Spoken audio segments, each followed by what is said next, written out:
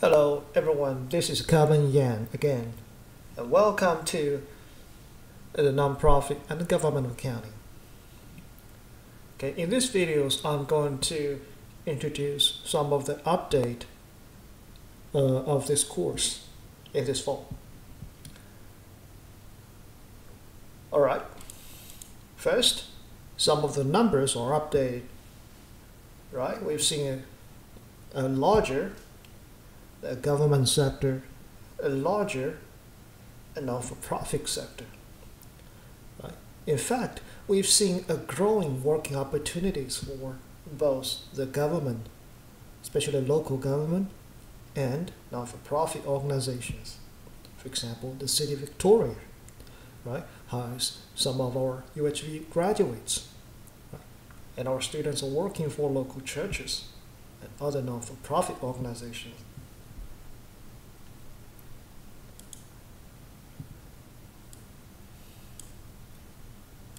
Then let's talk about the new CPA exam requirement.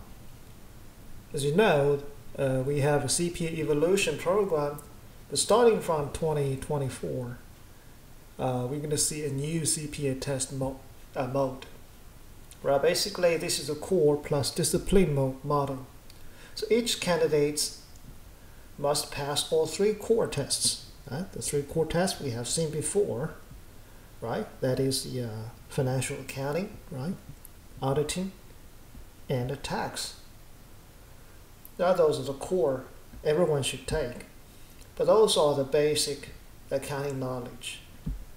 And then you're going to choose one discipline section in order to demonstrate greater skills and knowledge.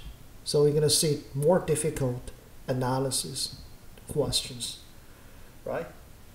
Areas are uh, the business analysis reporting, right? Basically, more advanced financial accounting, right? And one is inf accounting information system, right? And more advanced auditing. So where is the governmental and non-for-profit accounting in this new model? Right? We are going to see governmental and uh, not-for-profit questions in both the core and the discipline sections. Right? In the core section, we're still going to see local and federal uh, government questions, not-for-profit questions in the financial accounting tests. And also in the more advanced uh, bar discipline, we're going to see more advanced analysis in those areas. Okay? That's a new accounting uh, mode, which is going to take effect in 2024.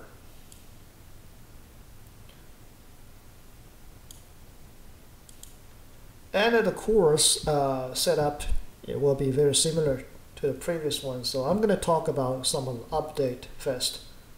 The textbook, right, is updated. We're having a ninth edition, ninth edition uh,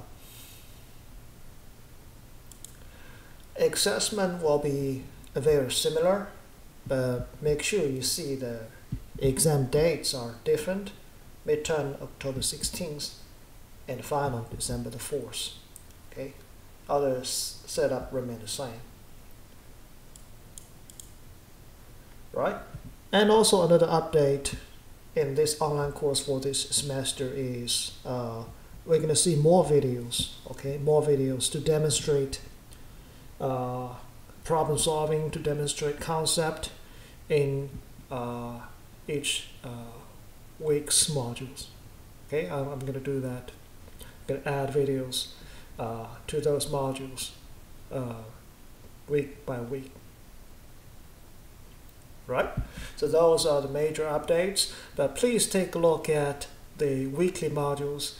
Uh, and for the first for the first week, you're going to see the lecture zero, which is introduction to this course. So take a look at that and uh, uh, check the textbook. You can get a uh, e-textbook, which is uh, can get sooner than the uh, actual book. And also post your discussions for the first week, basically introduce yourself, to the classmate. Right? If you have any further questions, then let me know.